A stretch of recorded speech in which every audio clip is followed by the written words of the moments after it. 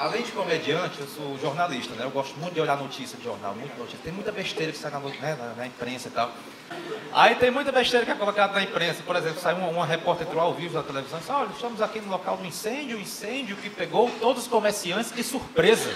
Isso, porra, foi mesmo? É, que, que, que notícia, hein? Na, acho que na cabeça da, da, da, repórter, sei lá, enfim, aconteceu algum dia a seguinte cena, né? É, opa, bom dia! É da loja de, de plástico aí, é? Aqui quem tá falando é o fogo, tá? Só para avisar que mais tarde, ó, é, é melhor evacuar aí, hein? Eu tô avisando que da outra vez deu imprensa, rapaz, ficou ruim para mim, rapaz. Tá certo? Burrice, né?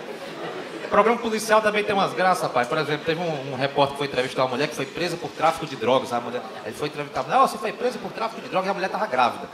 Foi presa por tráfico de drogas ainda está grávida, né? aliás, a sua gravidez foi acidente? Foi, senhora? Não, foi acidente não, foi piroca mesmo, viu? Levou na lata, mereceu, falou merda, né? Ninguém capota o carro e fica grávida, né? Não acidente. Outro repórter do programa policial, né? Falou assim, olha, estamos aqui no local do crime, né? local do crime, o corpo, vocês podem observar, está aqui ainda, continua imóvel, olha só. Graças a Deus, né? Que não é um zumbi aí, né? Ainda bem que ela não perguntou, quem foi que te matou? Você não viu? Não, direito dele, ficar calado, né? Deixa né? Burrice. Ah, e tem mais, deixa eu me lembrar demais. Quando tem pesquisa também é legal. Saiu uma pesquisa dizendo assim, ó. Que sexo oral pode causar câncer de garganta. Isso não é coisa que se diga, né, gente? Isso é coisa que se diga na pesquisa. O cara pode mais nem tossir na rua, né? hum.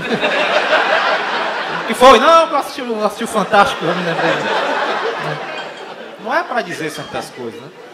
Saiu uma, também uma notícia que, segundo a ONU, existem 900 milhões de pessoas com fome no mundo.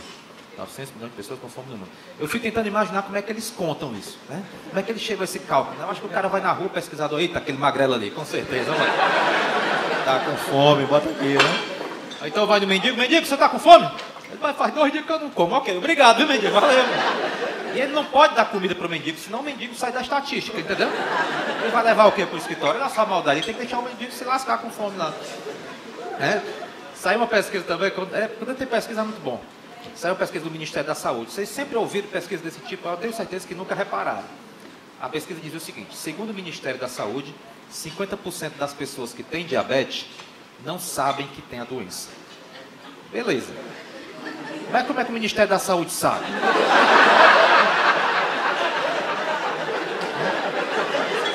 Se nem a pessoa sabe.